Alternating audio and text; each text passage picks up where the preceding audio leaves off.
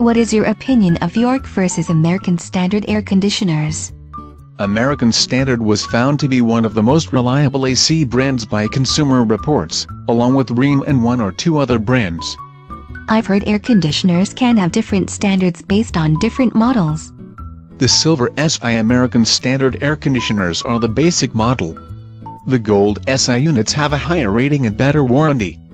That's kind of like the Whirlpool Gold kitchen appliances, their premium version. Except the Whirlpool Gold refrigerators and dishwashers do worse than their more expensive generic appliances. I thought American Standard had 15 and ZM versions. Their Platinum line of air conditioners have the XM and ZV versions.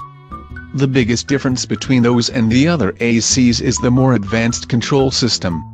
I'm annoyed enough with the Nest programmable thermostat that the utility installed.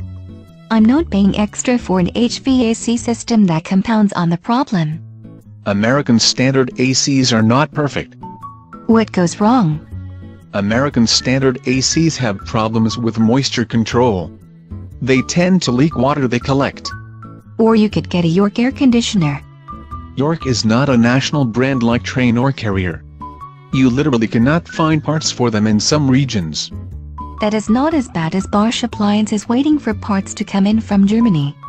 York air conditioners are more complicated to install than other major brands, and the installation is one of the most problematic parts of owning the unit.